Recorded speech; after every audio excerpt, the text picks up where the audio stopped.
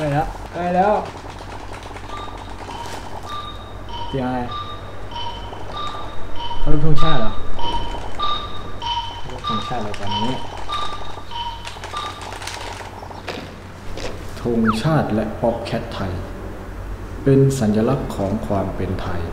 เราจงร่วมใจนั่งลงบรรจงจิ้มป๊อปแคทแห่งชาติ ด้วยความภาคภูมิใจในประชาชาติ และความเสียสละเวลาของปวงชนชาวไทย